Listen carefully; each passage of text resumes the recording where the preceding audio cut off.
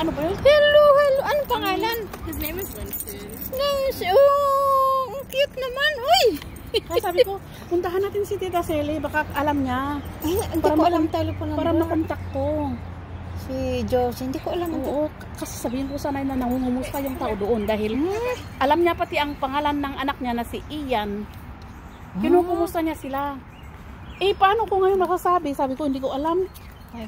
Jo- Oh, oh, si Josie. Oh, kilala Eh, ko. sino ang, Wala na. sino Hindi- kaya ang alam, sino Yeah. kaya ang nakakaalam na alam mo? Nakakilala mo. Matagal akong hindi napunta ng Mm.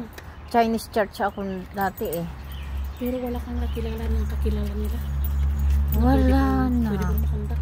Wala na. Wala akong ka... Mm. Kasi tagal na eh. Kami Ano naman, bang- kami naman sa pagmamadali namin dahil siyempre ayaw namin na mai ma, ano yung matanda doon. Mm-mm. Nagpaalam na ako na hindi ko naman na, naibigay ang telephone number ko o hindi ko nakuha ang telephone number niya.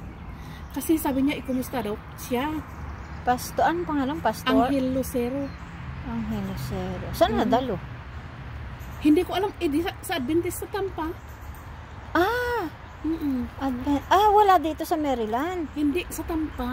Oh, I Nadaan nga see. kami, dumaan kami dahil nakita ko yung parang ganito.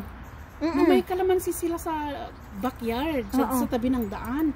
Kaya Mhm. pinahinto ko ito dahil nag-rent a car ito. Oo. Ah. Eh, nakita ko na ganun. Anong year? College na siya, di ba? Nag-graduate na. Hay! Mm. Congrats! Thank you. Aray! ah. Graduate na. So, wala kang talagang, ano, Wala, wala akong no contact to. nagigilty naman kasi ako na hindi makakarating ang pangumusta ng matanda.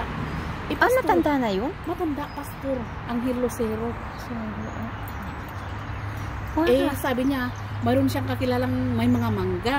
Mm-mm. Pero sabi ko, uuwi na kasi kami bukas, kaya wala na kaming na, dalhin sana niya kami sa kakilala niyang may mga tanim na mangga. Oo. Mm. Ay, anong pangalan mo? Uy! Winston. Oh, Winston. Saan mo binili ito? Sa Ohio, nag-drive kami mag-ina, pumunta. Hindi ko Ah. naman alam na gift, graduation gift daw niya. Ang Eh, sinamahan ko lang naman. matik-upin pa para hindi mag-isa. Oo.